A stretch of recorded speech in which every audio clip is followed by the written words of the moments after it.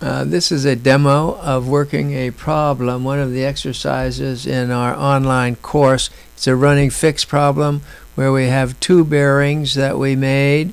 So we want to do these two bearings to make a running fix and then find the answer relative to a landmark there. And so the first one, um, and the first one is a VH, uh, buoy VH bears 075M. Now I've set this program, this is OpenCPN, I've set the program up to read uh, magnetic bearings. And the variation for the chart we use in the course is 20 degrees.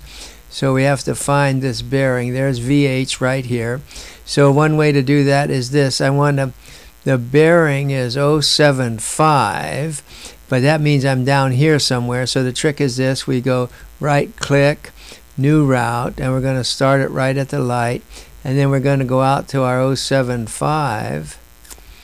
075 is right there. And then I'm just going to back up this way. And so this is a way this is a way then escape. This is a way to me. I'm drawing a bear. Uh, this is my LOP. I'm somewhere on here when that thing bears 075. That was just a trick. Now, the other step is uh, we sail. That was when the log read 4.4. Then it looks like 6.4. It looks like we sailed two, two miles in direction 186m, and we took another bearing, and it's 030m. So we do the same thing. Come over here, new route. Oh, I didn't get it. New route. Uh, use nearby. Okay, yes, I'll use that.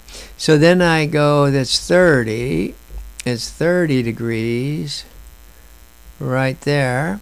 And then I come back down here. And there is my, let me get that as close. Okay, that's it, escape.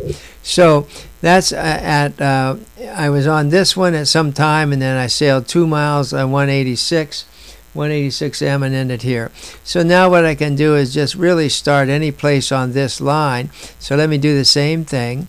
I'm going to drop a new route, new route, okay. And I'm going to go here. And I want to go uh, two miles, two miles, two miles in one, 186. 186. So so there's two, there's basically two miles and 186.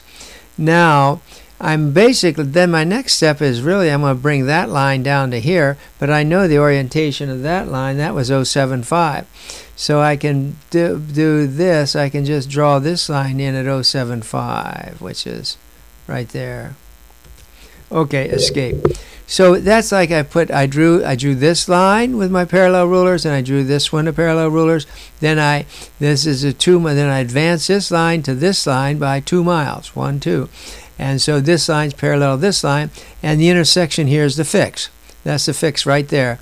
So this one would be labeled uh, LOP, um, what is it, time 1020. This is 1020 LOP. This is the 1040 LOP. This one would be labeled 1020 goes to 1040. And then that's the running fix right there. And now, but it wants to know not the latitude and longitude of that, but what's the range and bearing to uh, this light, Race Rocks light right here. So we do that again the same way. I'm just going to right click and say new route, but then take it right out of here and then point to this guy right here. And then I get like um, what am I getting? I get 4 point where's the light? Oh okay there's the light.